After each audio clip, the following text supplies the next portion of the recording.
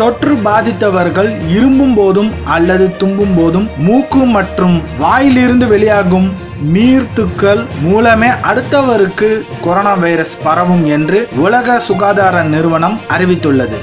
இதனால் முகக்கவசம் அணிந்தும் சமூக விலகல் பின்பற்றுவதும் வைரஸ் பரவுவதை தடுக்கும் என தெரிவிக்கப்பட்டுள்ளது. இந்நிலையில் உலக சுகாதார நிறுவனத்திற்கு முப்பத்தி ரெண்டு நாடுகளைச் சேர்ந்த இருநூத்தி முப்பத்தி ஒன்பது விஞ்ஞானிகள் எழுதியுள்ள கடிதத்தில் காற்றில் இருக்கும் நுண்ணிய துகள்கள் மூலம் கொரோனா வைரஸ் பரவும் என்பதற்கு ஆதாரங்கள் இருக்கின்றன. அறிவியல் இதழில் ஆதாரங்கள் அடுத்த வாரம் வெளியிடப்படும். எனவே கொரோனா வைரஸ் பரவல் குறித்த அறிக்கையை உலக சுகாதாரம் நிறுவனம் மாற்ற வேண்டும் எனவும் கூறியுள்ளனர். காற்று மூலம் வைரஸ் பரவும் என்பதை உலக சுகாதார நிறுவனம் ஏற்கவில்லை. இது குறித்து கொரோனா பரவல் தடுப்புக்கான டபிள்யூ ஹெச்ஓ நிபுணர்கள் குழு தலைவர் பெனிதெத்தா அல்லே கிரான்சி கூறுகையில் காற்று மூலம் கொரோனா பரவல் சாத்தியம் குறித்து கடந்த சில மாதங்களாக பரிசீலிக்கப்பட்டது. ஆனால் இதற்கு வலுவான தெளிவான ஆதாரங்கள் இல்லை என்றார்.